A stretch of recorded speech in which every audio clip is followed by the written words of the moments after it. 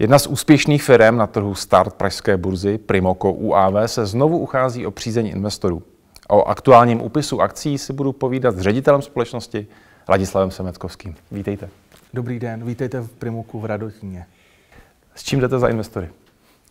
Tak my přicházíme eh, nyní s novou emisí, která začne 3. května 2021 Uh, upisujeme až 655 tisíc nových akcí uh, v ceně mezi 260 a 360 koruny. A uh, je to vlastně pokračování nová emise po IPO v roce 2018. Jak investovat, jak nakoupit vaše akcie? tak je to velmi snadné. Stačí zavolat svého bankéře, člena burzy a požádat o Eh, bukaci eh, toho svého lotu. Minimální hodnota nákupu je jeden lot, což představuje 100 kusů akcí, to znamená minimální investice 26 tisíc korun. Kam budete tento kapitál investovat? Do těchto letounů? Určitě do vývoje společnosti. Primárně uh, chceme zahájit přípravy výstavby vlastního výrobního závodu v Písku v Krašovicích. Část peněz půjde do vývoje nových technologií eh, a samozřejmě volné hotovosti ve společnosti. Na parketu v Rybné ulici už jste nějaký ten pátek, kdy se ohlednete od svého startu na trhu Start. Čím jste si prošli? Tak přiznám se, bylo toho eh, mnoho za ty tři roky. Eh, prošli jsme certifikací na vývoj a výrobu vojenské letecké techniky. Implementovali jsme do letounu mnoho nových senzorů, protože zákazník nechce jen letoun, ale chce konečnou službu, konečné řešení problému.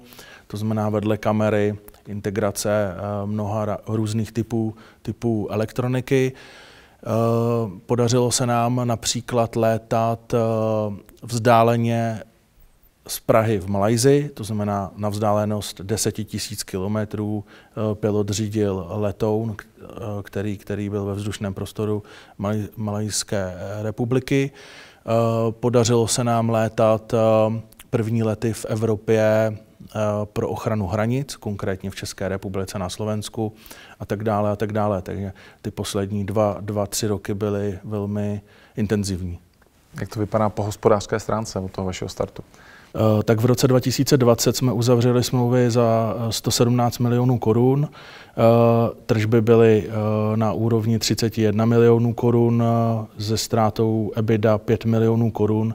Tam podotýkám, že ve skutečnosti tam do, do EBIDy se promítly i náklady z pohledu certifikace, což byly nějaké mimořádné náklady. Normálně bychom byli již černé nule. V letošním roce určitě plánujeme prodej minimálně 18 letounů, tržby minimálně na úrovni 300 eh, milionů korun, takže Primoko po těch pěti letech, eh, šesti letech eh, od zahájení činnosti a vývoje má všechny procesy uvnitř firmy hotové, postavené a vlastně pouze teďka je cíl samozřejmě prodávat v desítkách a v budoucnosti stovkách kusů. Na jaké trhy eh, ty vaše letouny zamíří? Tak eh, ty trhy zůstávají stejné, to znamená, je to primárně Asie, Blízký východ, Afrika, částečně díky regulaci Evropské unie, EASY eh, i už Evropa. Kde vznikají ty vaše letadla? Tady? Radotíně? Ano, většina komponent se vyrábí tady v Praze v Radotíně, motor se vyrábí na Moravě, a vlastně celý ten letoun je kompletně vyroben vlastně nebo vyvinut tady, tady, tady v České republice s výjima vlastně třech komponent, které jsou evropského původu. Co technologie software? Tím myslím i technologie software. To znamená, ten letoun je plně digitálně nakreslený, plně kom, kompletně zdokumentovaný. Pro vaši představu provozní příručka představuje dneska 700 strán v angličtině. Eh, výcviková dokumentace, včetně našich učebnic, je téměř 1000 stran, takže s certifikacemi a se všemi těmi dokumenty, eh, co to dneska obnáší, jsou to vlastně jednotky tisíc stran. Jak to vypadá s konkurencí?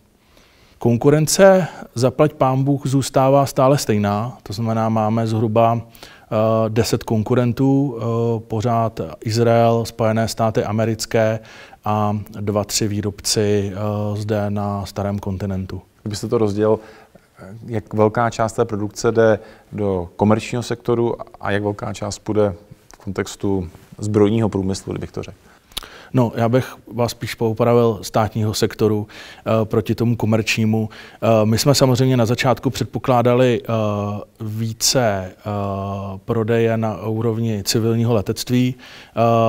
O to se to otočilo, že je to tak 80-20 ve prospěch státního letectví, to znamená, jsou to ministerstva obrany, vnitra, Coast Guard, pobřežní stráž, případně nějaké mise z pohledu létání strategické infrastruktury státu. Kdo je tím ideálním akcionářem vaší společnosti? Tak my se díváme na kvalifikovaného investora nebo akcionáře s investičním horizontem 3 až 5 let. Eh, my jsme eh, růstová společnost, to znamená očekávání je prodat eh, v budoucím horizontu za násobky té současné tržní ceny. A určitě zajímavostí je, že našimi současnými akcionáři, kterých je více než 100 v současné době, tak jsou to rodiny, to znamená například otec se synem.